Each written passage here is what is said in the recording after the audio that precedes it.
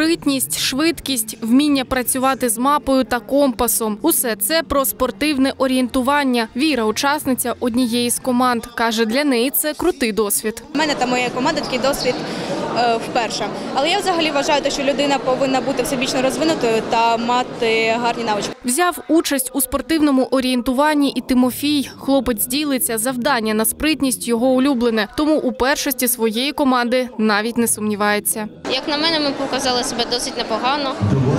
Показали, як на мене, один з най- найкращих результатів.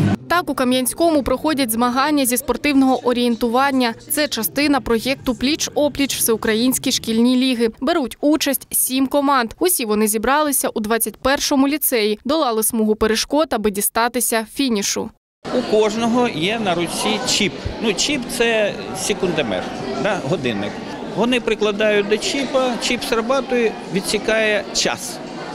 На фініші він отримує спліт, де показано, скільки він біг між кожним контрольним пунктом. Йому потрібно розумітись у карті. Змагання проходили не лише у Кам'янському, а й у Києві, Бучі, Львові та Одесі. Участь брали більш ніж 25 тисяч команд і понад 300 тисяч школярів з усієї країни. До них звернулися видатні спортсмени, відомі телеведучі та актори, зокрема Олександр Усик та Юрій Горбунов. Також діти змагатимуться пліч опліч із військовими та курсантами. Спортивне орієнтування, ну на мій погляд, воно на сьогоднішній день не буде взагалі зайвим нікому. Коли йде війна, е, нам необхідно всіх долучити і всіх навчити орієнтуватись на місцевості. Ми сподіваємося, що ці діти будуть жити в мирі. З такими дітьми ми подолаємо любого ворога. Підтримати спортсменів завітали і начальник обласної військової адміністрації Дніпропетровщини та міський голова Кам'янського. Вони побажали малечі успіхів, а ще подякувати нашим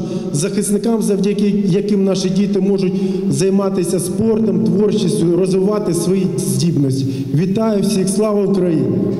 Героям!